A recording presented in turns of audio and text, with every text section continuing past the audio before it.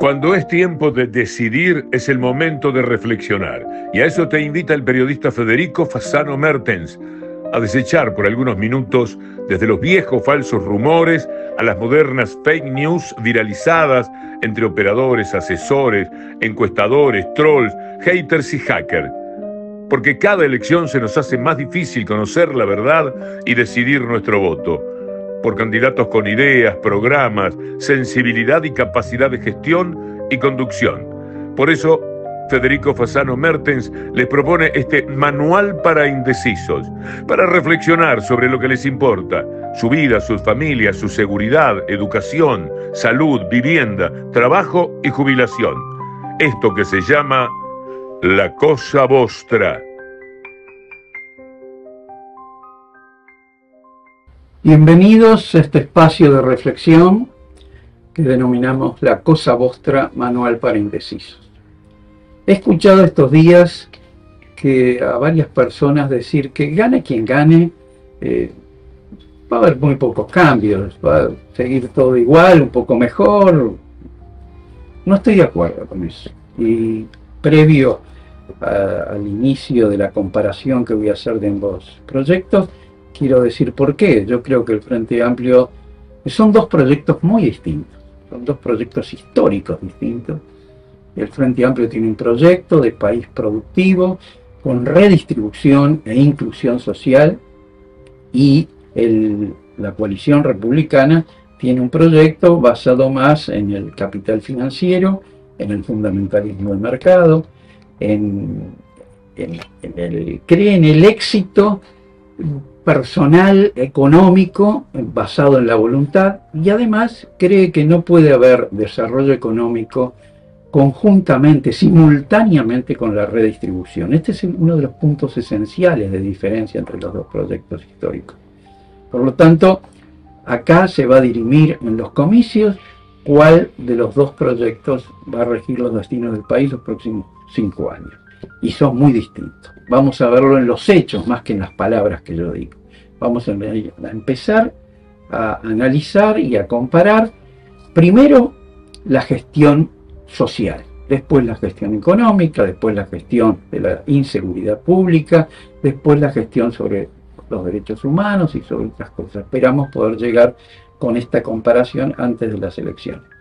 En la gestión económica, el Frente Amplio recibió en el 2005 1.300.000 pobres. 1.300.000 pobres, es decir, el 39,9% de la población, el 40% casi de la población en la pobreza. Acuérdense, acuérdense de las ollas populares por doquier, de la mendicidad por todos lados.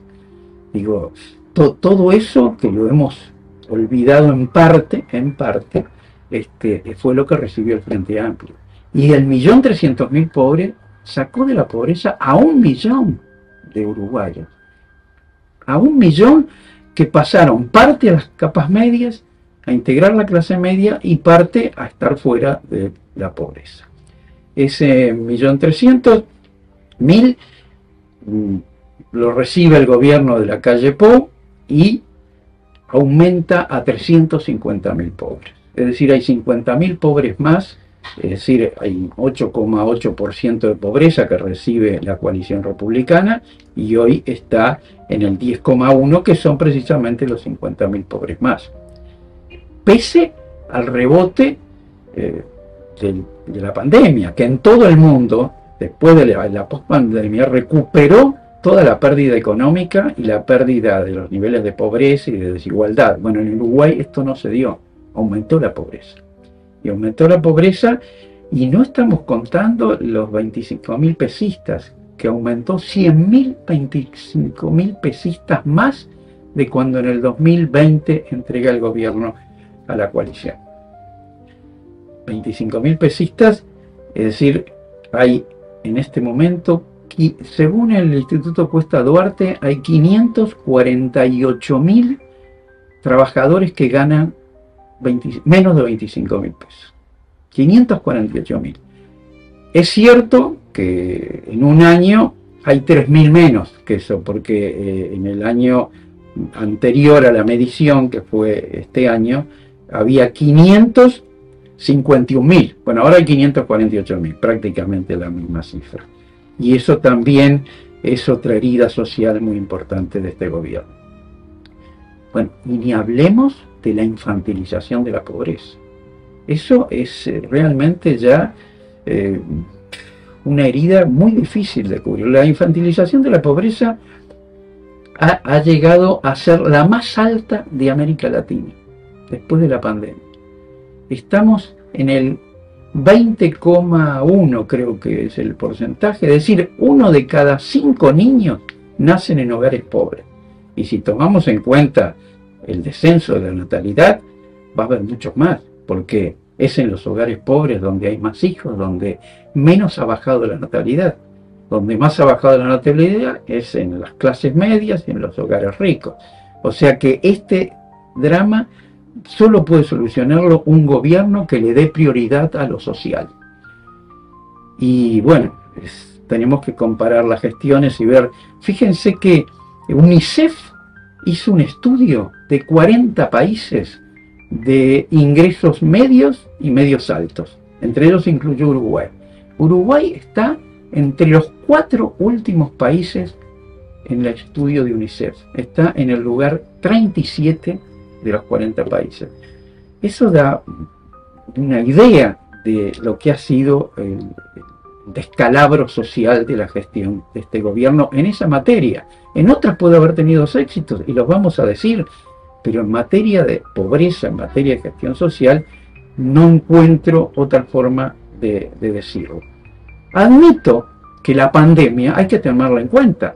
Sería desleal de mi parte no reconocer que la pandemia existió y que la pandemia aumentó la, pobreza. En el 2020 aumentó un 35% la pobreza, plena pandemia y justificada, más allá de discrepar con la política sobre pandemia del gobierno de la coalición, yo creo que se hubieran podido salvar 4.000 vidas de las 7.500 que murieron simplemente aceptando el plan del Frente Amplio, que costaba solo 200 millones de dólares, cuando le dejó 18 mil millones de dólares en caja. Y se podían haber salvado 4 mil. Pero ese es otro tema que ya analizaremos cuando llegue el momento. Acá lo importante es decir que la pandemia la tomamos en consideración para el año 20 y para el año 21 pero no la podemos tomar en consideración para el año 22 y 23, porque si bien un 35% aumentó la pobreza durante la pandemia, 35% no es global, sino comparado al 8,8%, el 35% de eso da el 10,1%, que son las cifras oficiales. Si bien es, después de la pandemia, todos los países recuperaron el desarrollo económico perdido y aumentaron los, eh, eliminaron parte de la pobreza. Acá no, acá subió la pobreza, 50.000 pobres más. Digo, no se justifica con el desarrollo económico. ¿Por qué pasa todo esto? Y bueno, por lo que decimos al principio, son dos modelos distintos. Uno está con la inclusión social, está con el cree en el desarrollo económico, pero con redistribución equitativa, y el otro proyecto no cree en eso. El otro proyecto cree que primero el desarrollo económico y después la redistribución, que nunca llega, como nunca llega el derrame, o bueno. Entonces, en materia de, pobreza es una calamidad. Podía haber sido atenuada por el desempleo, pero el desempleo tampoco se redujo. El desempleo incluso aumentó, muy poco, dos décimas. Hay que reconocerle a este gobierno que no aumentó el desempleo, solo lo aumentó dos décimas pero prometió terminar con el desempleo. Y eso no lo cumplió y eso hubiera sido muy importante. No se olviden que el Frente Amplio le entrega 350.000 nuevos puestos de trabajo. Es decir, recibe en el 2005 un desempleo del 11% de la población y crea, es decir, son 210.000 desempleados los que reciben y crea 350.000 puestos de trabajo más. Claro, es cierto y hay que reconocerlo que en el último año, en 2019, pierde 70.000 puestos de trabajo. Pero igual así le entrega al gobierno de la coalición 280.000 nuevos empleos. ¿Y qué pasó con todo eso? No aumentó el empleo. Prometieron que iba a aumentar el empleo y el empleo no aumentó. Incluso diríamos que se redujo una décima, ¿no? Pero bueno, efectivamente hablemos que el desempleo es el mismo en este momento. Pero pasemos a otros los niveles de la comparación, la desigualdad. Estamos hablando de gestión social. La desigualdad el Frente Amplio en 15 años, reconocido por la CEPAL, por las Naciones Unidas, en 15 años se transformó en el país menos desigual de América Latina. Fue, en 15 años cambió radicalmente la situación y bueno, los índices Gini que valoran y miden eh, la desigualdad son, son clarísimos, con un, un, un índice Gini que recibió el Frente Amplio de 46, lo bajó a 38 y hoy la desigualdad no solo no ha disminuido, sino que ha crecido. Dos décimas, pero ha crecido. Y el índice Gini, mover una décima es casi imposible. Pues cuesta muchísimo mover una décima. Bueno, acá se movieron en estos cuatro años y medio de gobierno 11 décimas de desigualdad. Eh, podemos ver otro aspecto de la gestión social, el salario real, por ejemplo, que es muy importante. Durante 40 meses disminuyeron el salario social. El Frente Amplio cuidó el salario social como su una joya y lo entrega eh, eh, laudado, lo entrega protegido. Bueno, durante 40 meses, y ojo, la pandemia no duró 40 meses, la pandemia duró la mitad, 20 meses. O sea que no podemos echarle la culpa a la reducción del salario real a la pandemia. Esos 40 meses hicieron perder a los trabajadores 7.440 millones de dólares. Yo me pregunto dónde están. ¿Dónde están? Porque no se dedicaron a, bajar el déficit fiscal. El déficit fiscal es el mismo déficit fiscal que les entregó el Frente Amplio. Lo analizaremos cuando veamos la gestión económica de ambos proyectos. Pero Acá hubo una licuación. Milei lo hizo mejor, porque agarró la licuadora y eh, terminó con el salario real, pero terminó también con el atraso fiscal, lo dejó en cero. Es decir, en una forma impiadosa, en una forma misericordia con la sociedad, pero lo hizo. Pero acá no se redujo el déficit fiscal y sí se redujeron más de 7 mil millones de dólares en atraso del salario real, que comienza a recuperarse hace recién 16, 17 meses. Se recuperó, pero ¿y todo lo perdido anteriormente? ¿Qué hacemos con todo eso? ¿Y cómo lo explicamos? Además, la recuperación no eh, accedió a la jubilación. La jubilación no ha recuperado aún el salario real. Entonces, no, no, no le culpemos a la pandemia de todo. Veamos otro aspecto de, de la gestión social comparativa veamos la capacidad eh, de ingresos a los hogares, la capacidad, esa capacidad, según el Instituto de Ciencias Económicas de la UDELAR, el 95% de la población uruguaya bajó su nivel de vida y solo un 5% lo aumentó. Bueno, lo dice la Facultad de Economía, hay estudios realizados sobre ello. Es cierto que la coalición republicana sostiene que es mentira, que hay que ir a los índices, eh, distintos índices. Tengo acá algunos cuadros este, que podemos ver sobre... Bueno, este, este cuadro, por ejemplo, indica que todos los niveles, salvo los de 68 años, aumentó la pobreza. Todos, ¿eh? Eh, menos los de 65 años para arriba, que ahí quedó la misma pobreza que recibieron. Pero eh, el, índice, acá hay un, gráfico de, de, los, tengo que poner los lentes, de los quintiles, y, en donde ellos dicen que no, que, que el 0,8% aumentó eh, la distribución del ingreso aumentó los quintiles, pero es una trampa, es una trampa, es una falsificación ideológica, porque el, quintil 1, los quintiles, para los que no lo saben, es que el quintil 1 son el 20% de la población, el 2 es el otro 20%, el 3 es el otro 20%, el 4 y el 5 es el último 20% más rico. Bueno, el que aumentó enormemente es el quintil 5, el más importante de, los 20.000 más beneficiados. Ojo que entre esos beneficiados hay unos que se beneficiaron muy poquito y otros muchísimos. Y entonces, ¿qué hicieron? Este, este gran promedio lo comparan con los otros quintiles, que todos descendieron, y obviamente la suma de todo da un 0,80%, menos del 1%. Pero de todas maneras, tengan en cuenta que el quintil 1 bajó 6 veces más que el quintil 5 y los quintiles 2, 3 y 4 bajaron 5 veces más que el quintil 5. Entonces, esto es una trampa, no lo podemos presentar así.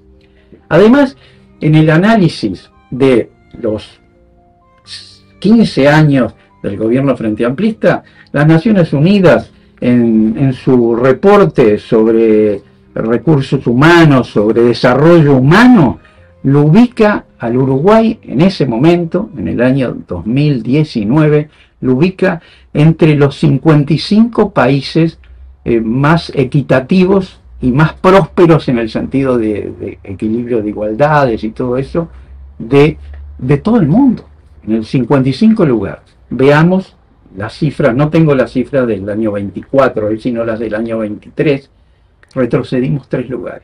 Estamos, según Naciones Unidas, en el 58 lugar. Incluso eh, da, unas cifras este, de que antes estábamos en el 0.821 y ahora retrocedimos al 0.809. Es decir, y eso lo dice Naciones Unidas, no lo digo yo. Y en materia de inclusión social, impresionante eh, el desarrollo obtenido para Uruguay hasta el 2019 la propia Naciones Unidas nos coloca en primer lugar en América Latina, superando a Chile, que ocupaba el primer lugar antes. Nosotros ahora estamos ocupando el primer lugar. Digo, para terminar la, gestión, la comparación social, nos faltan muchas cosas, cómo, cómo actuaron los dos gobiernos frente a las capas medias, cómo, eh, cómo hay qué pasó en la educación, con la salud, con la vivienda, todo eso lo veremos en el próximo, en la próxima semana, no nos da mucho el, tiempo. Pero sí quiero decir una cosa, ustedes dirán, bueno, pero este hombre, nos dirán los que ya eligieron votar a la coalición, está acusando al, gobierno de rapacidad social, está acusando de, que son unos monstruos, que y que ellos, eh, que la izquierda son los grandes benefactores del pueblo. Yo no digo eso. Yo primero me manejo con cifras y con elementos oficiales que son públicas. No creo personalmente que la ministra de Economía, Azucena Arbeleche, sea, e, e, esté contenta de la reducción brutal de, del aumento de la desigualdad y la reducción de, los niveles que debieron bajarse de pobreza y que aumentaron. Deben estar muy tristes por eso. El propio presidente debe estar muy enojado con, estos resultados. No creo que ellos quieran que haya más pobres. Al revés, creo que quieren poner como éxito que no lo haya. Pero no son ellos los malignos. no, acá no hay buenos y malos, son las políticas las que se equivocan o no. Ellos eligieron una política que es neoliberal, digo, la sienten, es decir, cuando hablan del, éxito económico personal, cuando hablan de los Maya Oro, creen en eso, no es un invento. Ellos están de acuerdo con, con las políticas de Montpellerin, del neoliberalismo en 1948, lo han dicho con Hayek, e, están aplicando eso, ¿no? Ahora hay toda una tendencia al ver las cifras a decir, no, no, nosotros somos socialdemócratas, no somos neoliberales, no somos liberales, ni siquiera liberales. El propio presidente de la República lo dijo en un reportaje que él se consideraba socialdemócrata. Bueno, de socialdemócrata el proyecto de la coalición no tiene nada, como no tiene nada de vallismo, no tiene nada de wilsonismo, no tiene nada del herrerismo de Luis Alberto Herrera. Eso lo, lo tengo muy, muy claro. Sí hay algún eh, aliado mm, testimonial, que es el Partido Independiente, que dirige Pablo Mieres, que se considera socialdemócrata. Y era socialdemócrata, y lo digo en pasado muy claramente. Eh, si los fundadores de la socialdemocracia, Bernstein, Kautsky, Jean Jaurès, eh, en sus tumbas pudieran ver lo que Pablo Mieres, el Partido Independiente, la alianza que hace con el neoliberalismo, con la calle Pou, los elogios a la calle Pou y la denostación que hacen de la izquierda y del Frente Amplio, se revolcarían en sus tumbas.